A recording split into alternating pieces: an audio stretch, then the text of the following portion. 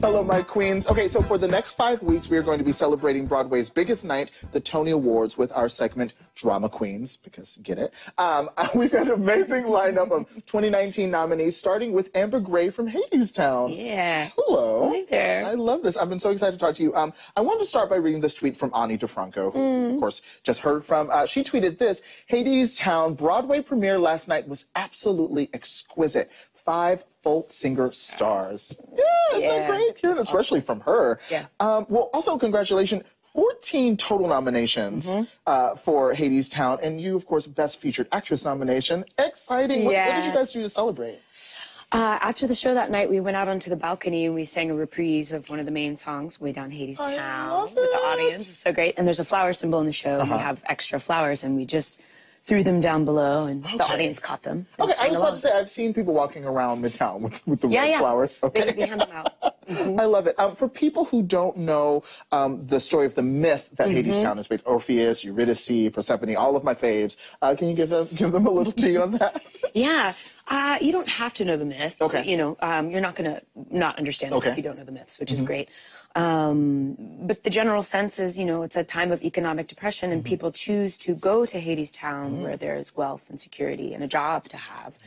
Um, but once you go, you can't come back. So no one really knows what it's like there. Okay. It's just lots of rumors. Okay. And it's ultimately a, a place of slave labor. Wow. It's not pretty down there. Woof, woof. Yeah. Well, you of course play Persephone. Mm-hmm. Uh, let, let's take a quick look. Yes. Are we taking a look? Is it happening?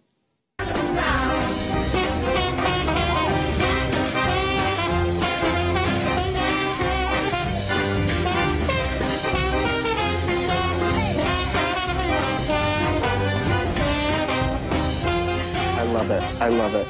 Uh, what's it like playing Persephone?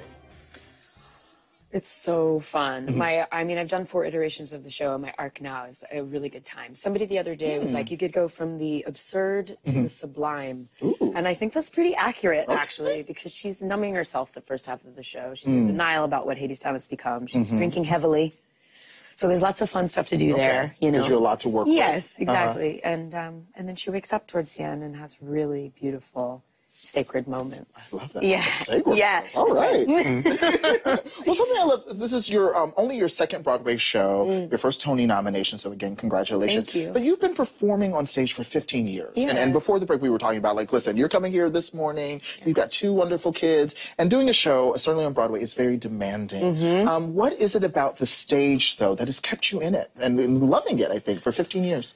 Yeah, it is how raw it is. Mm. It's live every night, which Mm-hmm. I love, and you get to, uh, especially after having children, I find it my daily meditation. It's the Okay. only time in the day that I have this sort of singular event where I get to actually listen, Totally focused. see, yes, in a way that I'm always multitasking, a little bit spacey in the rest of my life. Yeah. Again, sacred comes to mind. Okay. It is like my meditative moment of the I day. love that. I mean, I, to be honest, I feel that way about hosting the show. Yeah. Like when we're when we're doing the segments, I'm like, in that moment, I have one thing to do, which is Yeah. to engage another person, another story, and it's like the rest of the world kind of Falls away for a bit. Yep. Yeah. Uh, while I was reading about the show, obviously it has rightfully gotten so much praise from wonderful people. I was reading like Benj Pasek the other day, was just praising it as well. Um, a critic at the Guardian. Uh-huh. I don't know this person's gender or what's going on, but I would say they lost their damn mind, um, and they described your performance to that as a hoochie mama. Wow. Um, and rightfully, I mean, that is upsetting. it is wild. I had to sit with it. I was like, what?